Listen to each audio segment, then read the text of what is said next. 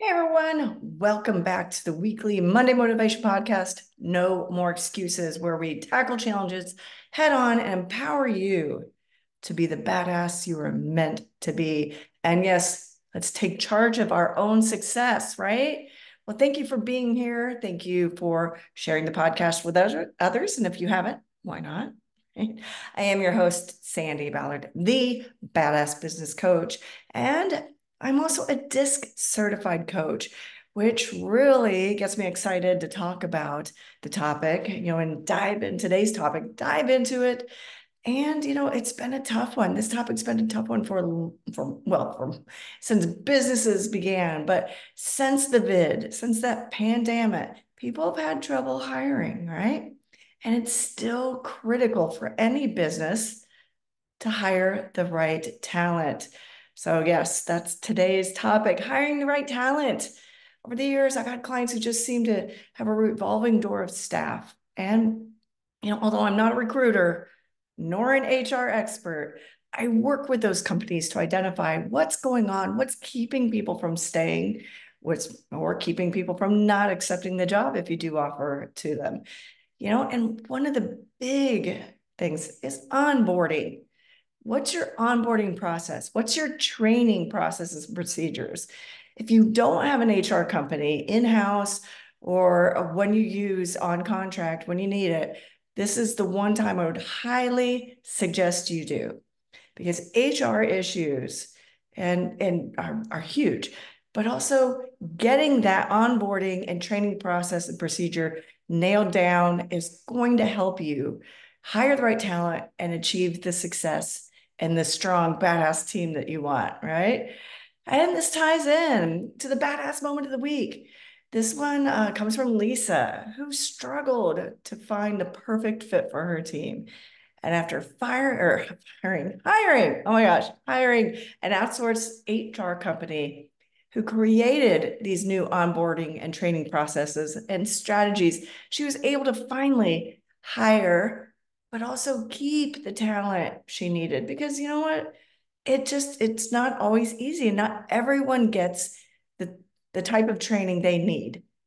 And that's where the disc assessment comes in because once uh, my clients hire staff i send them the link to take the assessment and then we know who we're talking to who we're training how to communicate because if they're a high I on the on the disc DISC on the disc assessment uh, profile, eyes are not going to want to sit down and be told to read a manual or it's in the manual. It's in the manual. How many times have you heard that, right?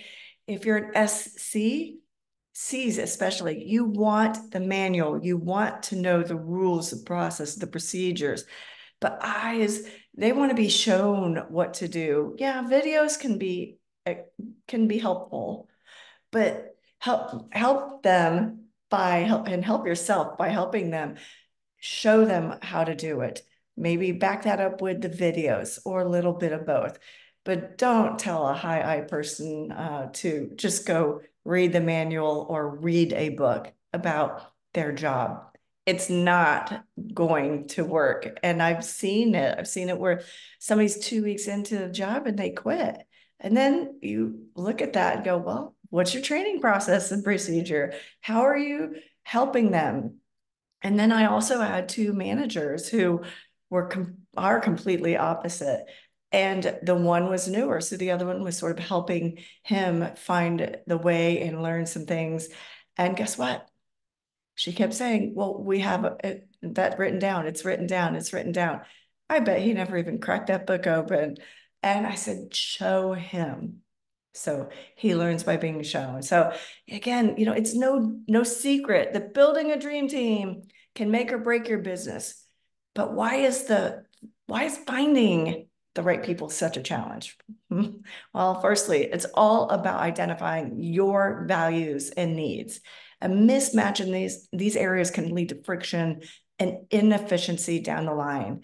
It's not just about does that person have a pulse and can they make it to work, right?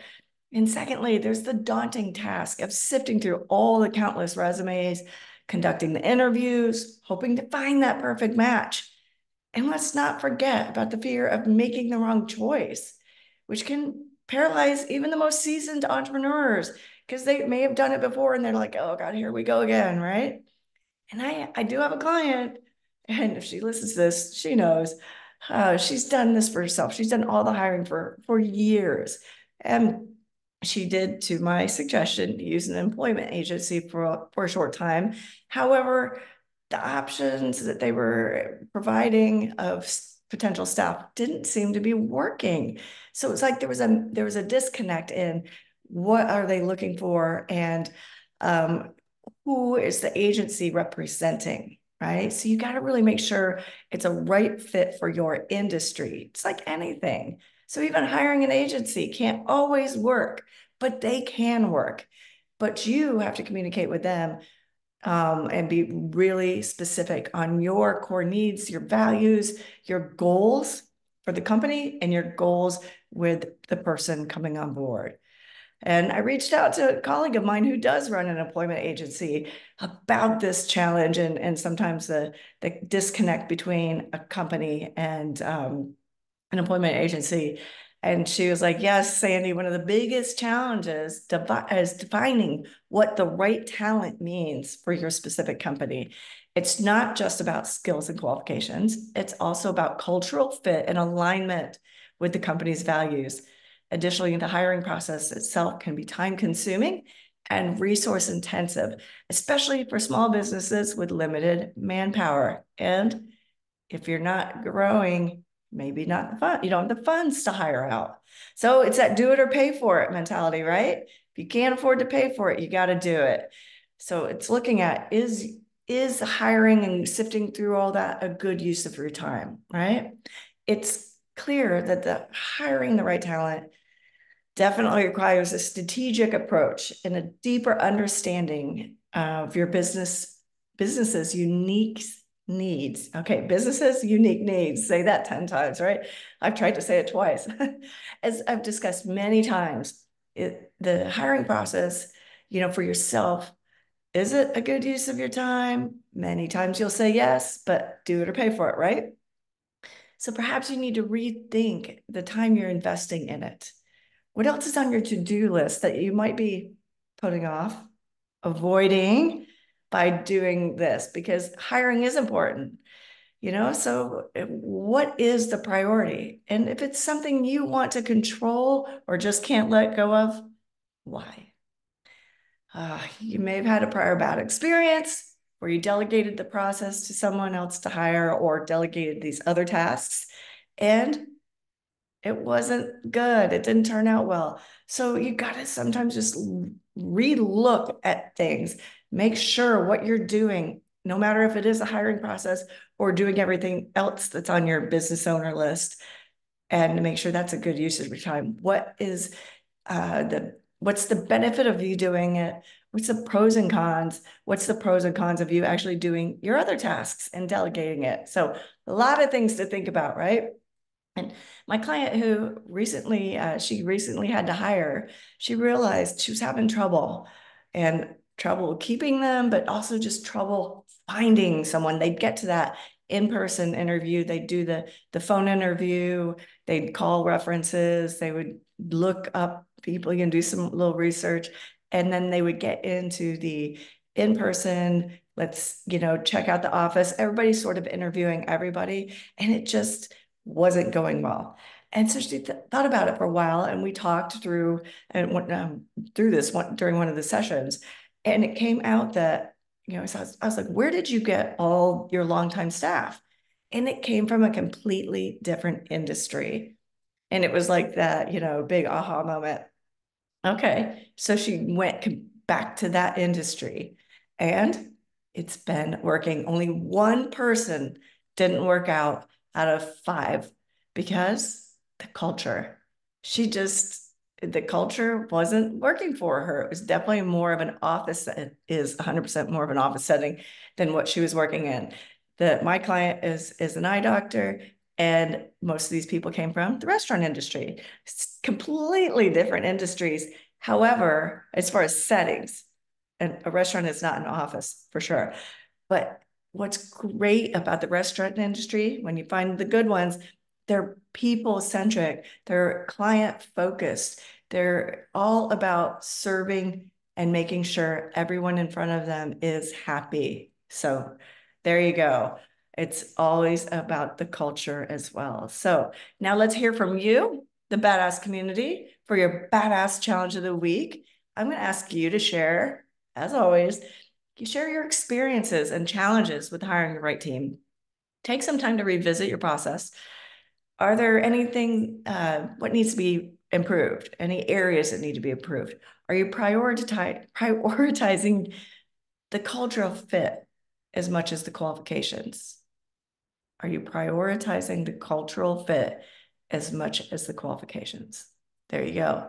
You can train, you can train qualifications or you can train them to do tasks, but you can't train culture. You that you got to find that good fit.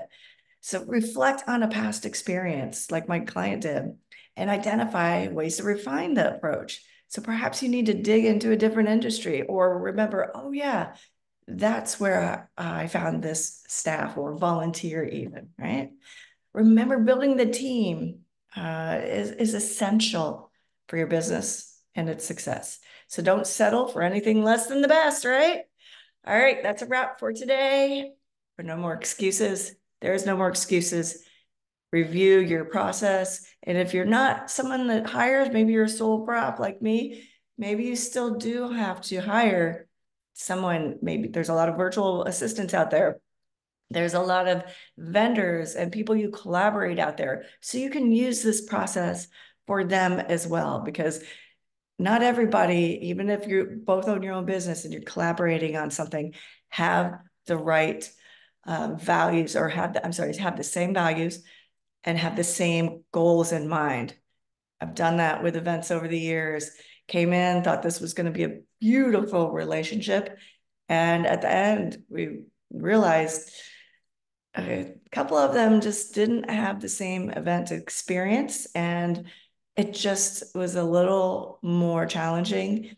Turned out great. The event turned out great, but you know, the communication wasn't quite there and all that. So you've got to really vet the process. And I think even I, we just all got excited. We thought we were on the same uh, level as far as the event and type of event, but we weren't on the same level of experience and communication.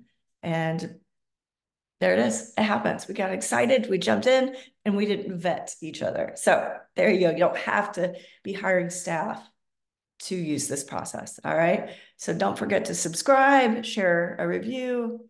And then until next time, stay badass. Cheers.